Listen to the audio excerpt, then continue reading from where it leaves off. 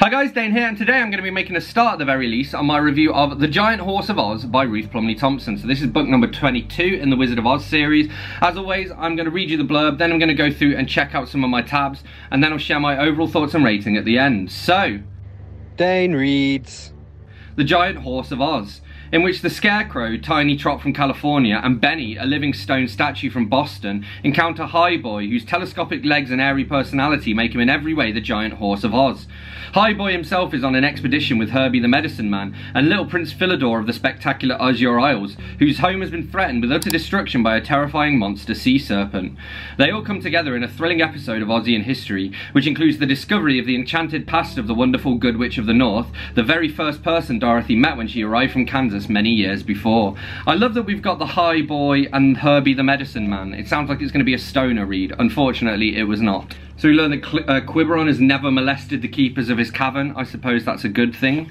And we get this great little line. Um, we who are magically constructed can be destroyed without pain, but a mortal can be hurt, and no one shall ever suffer to save me or my kingdom.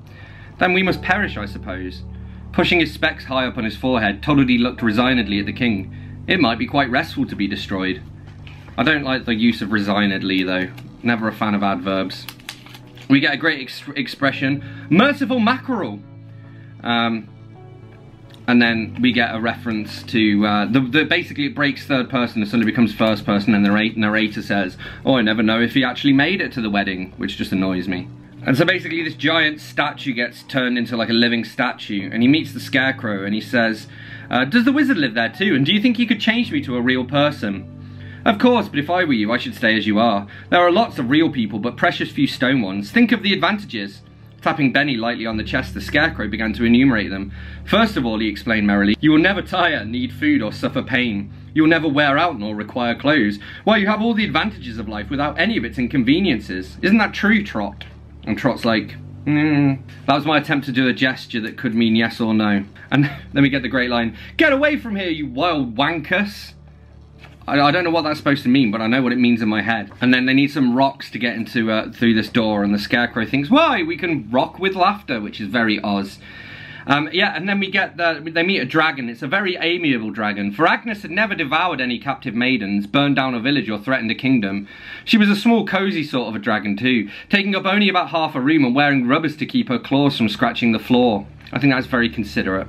So the high horse almost tramples everyone, and the scarecrow yells, Hey! And then the horse goes, Where? Did you say hey? Ah, leaning forward, he snatched several wisps out of the scarecrow's shirt front and munched them up with great relish. Oh, and they go past Ginger's house, and Scarecrow says, She'd have given you some fine gingerbread too. Very nice. Ginger was actually one of my favourite characters. Oh, yeah, so then High Boy, uh, the horse, goes to 200 feet tall and then carefully steps down into the river.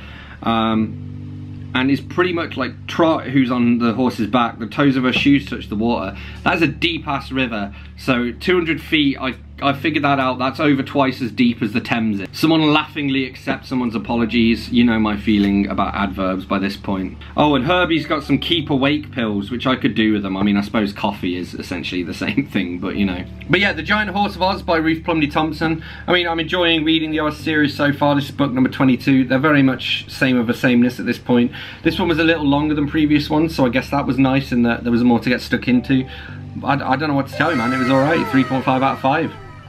So there we have it, that's what I made of The Giant Horse of Oz by Ruth Plumly Thompson. As always, don't forget to let me know in the comments if you've read this book and if so, what you thought of it. Hit that like button if you've enjoyed this video, hit that subscribe button for more, and I'll see you soon for another bookish video. Thanks a lot. Bye-bye.